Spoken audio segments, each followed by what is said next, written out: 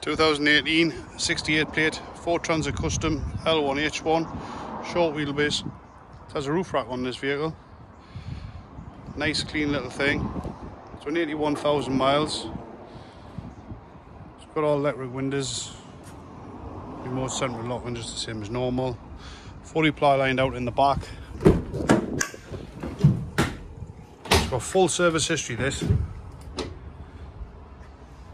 Loads of stamps in the book. Clean van. No dents, no scratches. Good tyres all round. Full year's MOT on it when it's sold. Three months warranty the same, fully serviced as normal. Side loading door.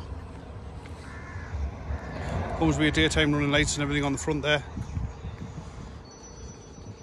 Dual passenger seat facelift model as well. It's got the multi-function steering wheel in there.